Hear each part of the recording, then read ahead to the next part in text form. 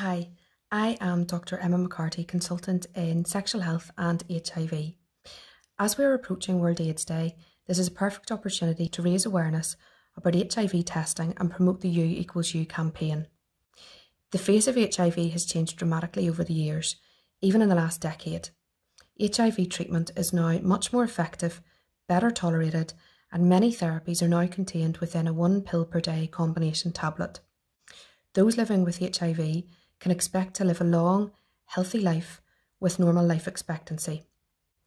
Being on treatment reduces the risk of HIV associated infections, malignancies, and the progression of HIV to AIDS.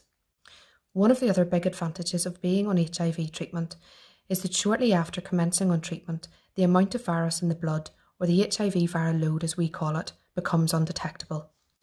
There is now really robust scientific evidence to support the fact that when a person's HIV viral load is undetectable, they are not infectious and cannot transmit virus to their partner. This is known as U equals U, or undetectable equals untransmissible. It is therefore very important that anyone who is at risk of HIV has a test and is diagnosed early in order that they may be commenced on to treatment. This U equals U strategy also is, presents a great opportunity to reduce the rate of circulating HIV virus within communities. However, this needs to be supported with an effective HIV testing strategy.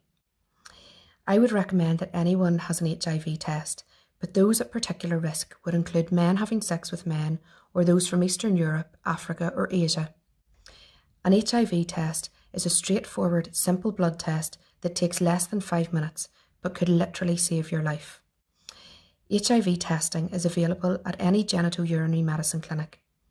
And within Southern Trust, these are located at John Mitchel Place in Newry, Ramone Outpatients in Craigavon Area Hospital, and Portadown Health Centre.